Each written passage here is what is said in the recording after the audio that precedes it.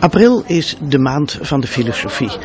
En vandaag, zaterdag, wordt de dag van de filosofie gehouden met allerlei activiteiten. Er wordt gesproken over hebben wij een ziel. Maar wij zijn te gast hier in de bibliotheek in Tilburg. Die heeft een samenwerkingsproject aangegaan met uh, het Center for Knowledge and Transfer. Een wetenschapsknooppunt van de Universiteit van Tilburg en Fontis.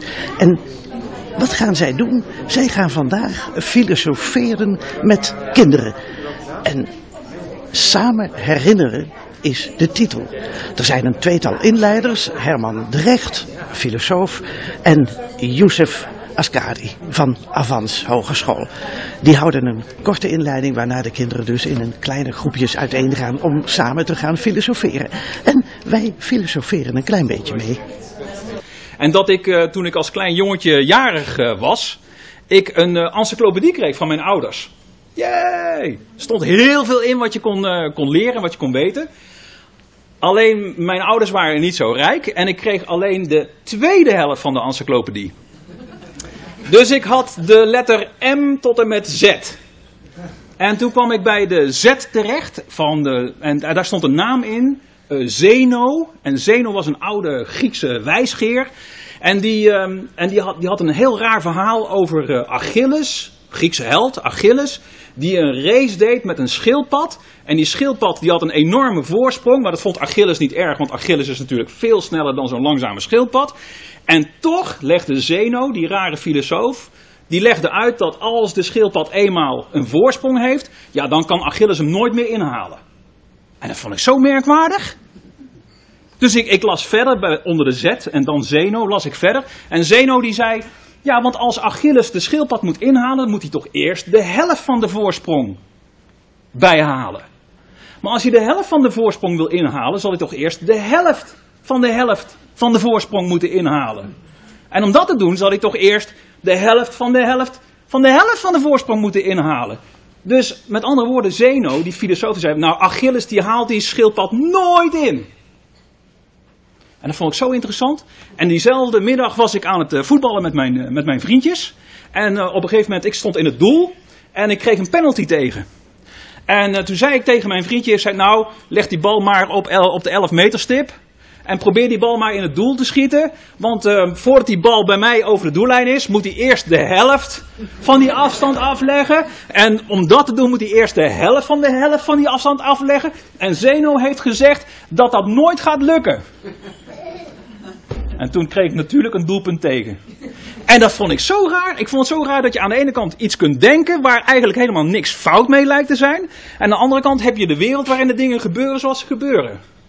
En die herinnering die heeft misschien wel toegeleid dat ik later ook filosoof ben geworden hier in Tilburg. En ik werk nu aan de Universiteit van Tilburg, waar je ook filosofie kunt studeren, werk ik als filosoof. Het is toch raar hoe je een eerste of een hele vroege herinnering kan leiden tot iets zoals je later dan uiteindelijk wordt.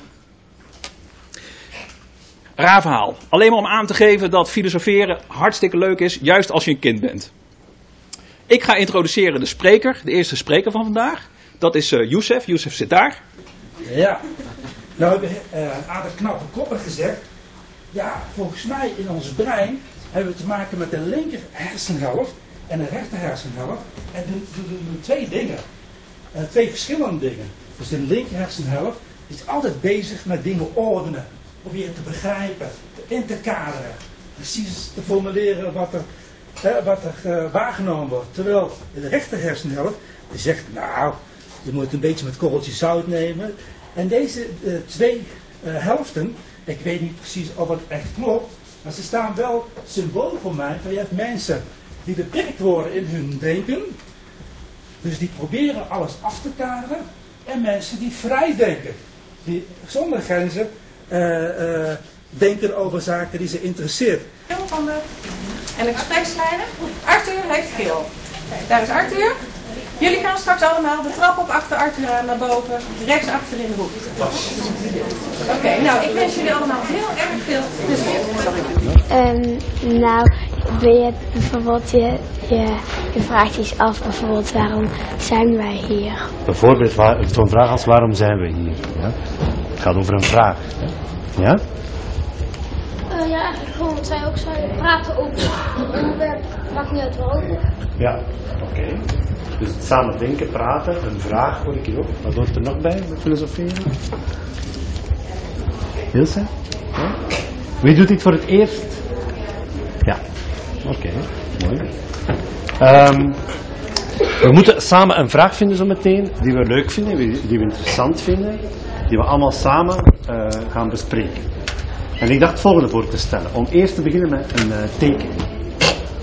Ik zou jullie willen vragen om één, per persoon één tekening te maken, of mag ook iets anders zijn, eh, waarin dat er iets komt over wat jullie daarnet hebben gehoord. Het verhaal van Youssef. Ehm, als je daarover nadenkt, wat, wat denk je dan? Of wat vind je daar dan van? En dat te tekenen. Zeg maar. Ja, het even wat zijn. Dus maak elke tekening, dan vergelijken we die een keer in kleine groepjes en halen we daar een vraag uit eh, die jullie allemaal interessant vinden. Dus per groepjes van twee, ga ik dan, of drie, ga ik één vraag zoeken. Dan kiezen we uit die verschillende vragen nog één vraag uit die we nog het beste vinden van allemaal. En over die vraag gaan we dan filosoferen. Dat is mijn voorstel haar. Ook, ook in de buik. Ik teken hem na.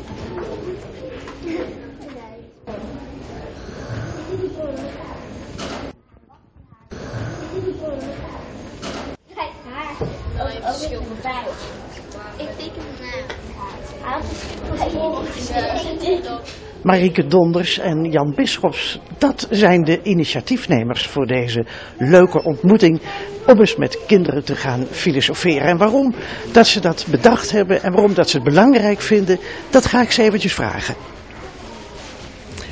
Waarom ik het belangrijk vind? Ja, eh, ik vind het heel mooi sowieso als ik kinderen zie in een hele jonge leeftijd, meestal die peuterleeftijd, te stellen zo ontzettend veel mooie oorspronkelijke vragen. En eh, ja, het is heel mooi om je daardoor door te laten verrassen, maar ook vooral op die vragen in te gaan en door te vragen. En met elkaar samen, nou ja, eigenlijk tot meer wijsheid te komen.